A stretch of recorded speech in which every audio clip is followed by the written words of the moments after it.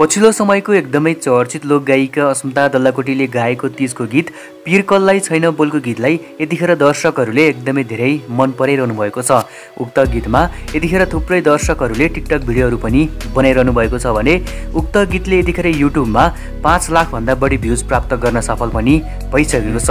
र यसै क्रममा उक्त गीतमा भने थुप्रै व्यक्तिहरूले एकदमै धेरै राम्रा राम्रा प्रतिक्रियाहरू पनि दिइरहनु भएको छ जसमा युवराज चन्द ठकुरी लेख्नुहुन्छ छाडा गीतहरूलाई चुनौती दिँदै यति राम्रो गीतको सृजना गर्नुभएको हुँदा अस्मिता दल्लाकोटी लगायत सम्पूर्ण टिमलाई हार्दिक बधाई तथा शुभकामना। सधैँ सकारात्मकतामै आफूलाई अगाडि बढाउनुहोला सबैको जय होस् भनेर यसरी प्रतिक्रिया दिनुभएको छ भने यस्तै गरी कल्याण पौडेल पनि लेख्नुहुन्छ अरूको अघि रमाउनै पर्छ पिर कल्लै छैन र ज्यादै भावुक र समाजको यथार्थ चित्रण गरिएको लोक सांस्कृतिक झल्काउने गीत बधाई छ अस्मिता बहिनी तथा सम्पूर्ण टिमलाई भन्दै उहाँले पनि यति मिठो कमेन्ट गर्नुभएको छ।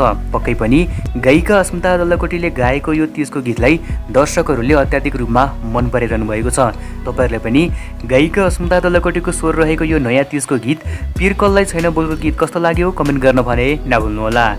हवस् त यति भन्दै म पनि अब बिदा हुन चाहन्छु। तपाईँहरूको दिन शुभ रहोस्। Thank you so much for watching this video